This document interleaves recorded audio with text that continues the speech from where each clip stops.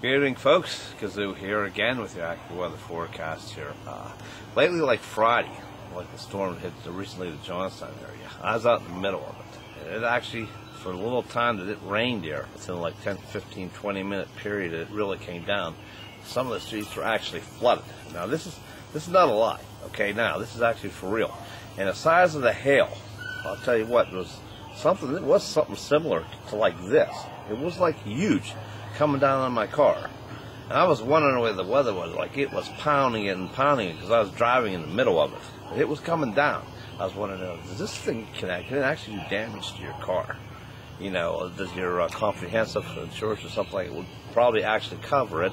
Or actual God, in that nature. It was like, remember coming down. I did forecasts in the past, okay, with the El Ninos, the way the situation is this year, okay with the El Nino and the way these storms are hitting, that our area where I live in was going to get hit hard with some storms. And actually, and this was I had done this about a, about a couple months ago back, and actually it was true.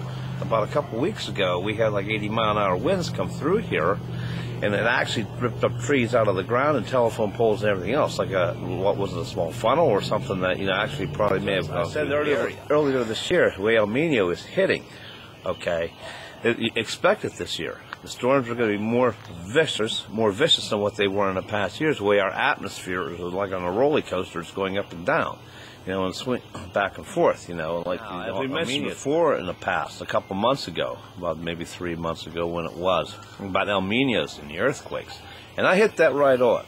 Uh, it was there. Actually, there's about three or four hit earthquakes we got since I talked about the El Ninos. Okay, that cause that cause these earthquakes, and they actually can. The way the way the way the atmosphere is, and the El Ninos are going in, in the area that they're going, it can actually cause earthquakes. In the next, if we just see more of this year into the following years, we start seeing them more, a little more numerous. Or is that possibility?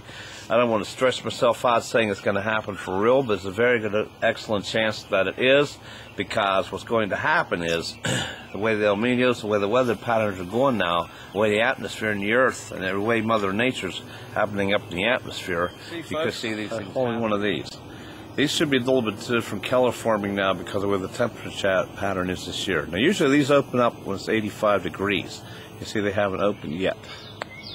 Here, I just popped one open, as you can see. That's amazing, you know. Look at the color of it. It should be more like that. It should be more like that. Here's some of these aren't. They're like that looking. You look down a lot, a lot of these here. Look at that.